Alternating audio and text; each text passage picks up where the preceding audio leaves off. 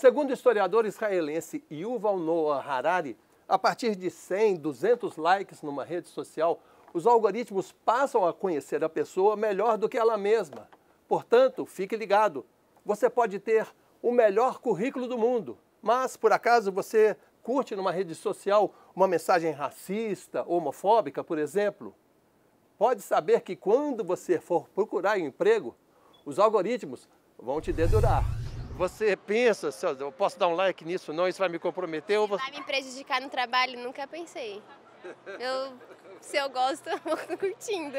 Eu tenho Instagram, tenho Facebook, tenho LinkedIn. Facebook, Instagram e o LinkedIn. E quando você vai postar alguma coisa, você pensa antes, questão do trabalho, assim, ah, isso pode dar um problema, você pensa? Penso, penso bastante. Você já desistiu?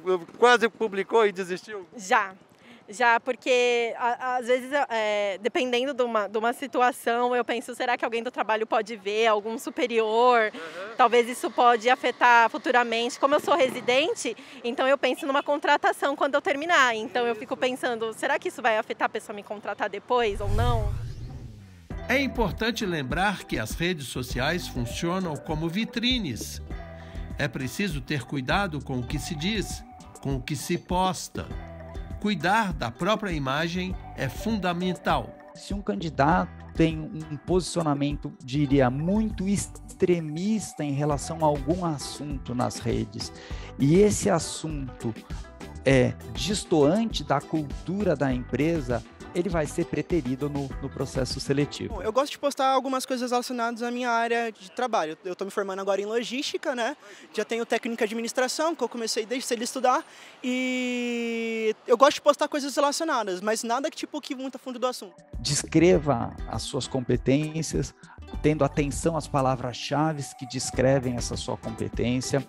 Seja sincero e verdadeiro no, no, nas suas qualidades e tente documentar no seu currículo sua experiência profissional, sua, sua formação e seus gostos e interesses, porque em algum momento o recrutador vai querer também conhecer um pouco mais sobre você, suas características pessoais. Antes de você postar alguma coisa na rede social, você pensa que se isso pode prejudicar ou não profissionalmente? Penso. É, geralmente, eu só tenho uma rede social agora, né? Que é o Instagram. Porque o Facebook também, eu sempre. As pessoas sempre falavam, ah, cuidado com o que você posta no Facebook, com, porque o seu trabalho futuramente vai te pesquisar lá. Então, geralmente eu não tenho, mas Instagram eu penso também. Eu fecho a rede social e coloco para um grupo seleto de pessoas que eu confio e sei quem é. Daniel Machado de Campos Neto é CEO e fundador da EDC Group, uma empresa que opera praticamente em todos os países das três Américas trabalha com consultoria e recrutamento.